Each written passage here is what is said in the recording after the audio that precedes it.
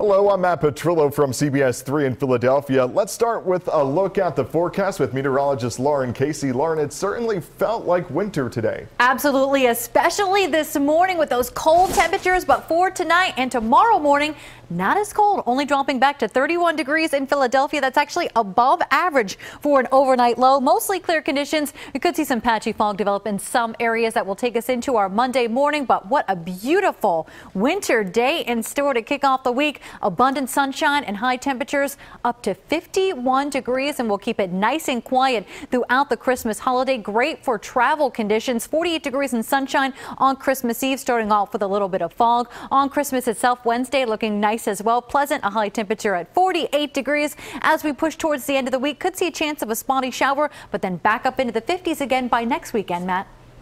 Lauren, thank you. Philadelphia police are investigating a man's death just blocks away from a row home explosion.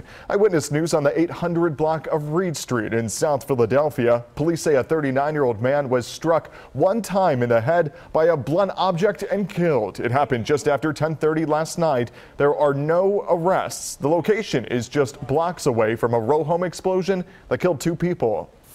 A police officer was sent to the hospital after a crash near the stadiums in South Philly. Investigators say the driver was coming off the Packer Avenue exit from the Walt Whitman Bridge and smashed into the officer's cruiser. The officer went to Jefferson to be checked out. Police are also investigating or trying to piece together what led up to a stabbing and a car crash in northeast Philadelphia. The wreck happened at Cheltenham and Frankford Avenues in the early morning hours. Investigators believe one person in the car stabbed the other in the head and shoulder. That victim expected to be okay.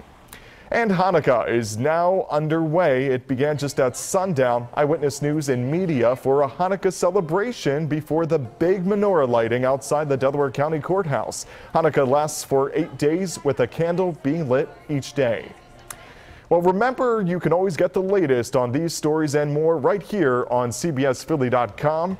And that is the latest for the evening digital brief. I'm Matt Petrillo.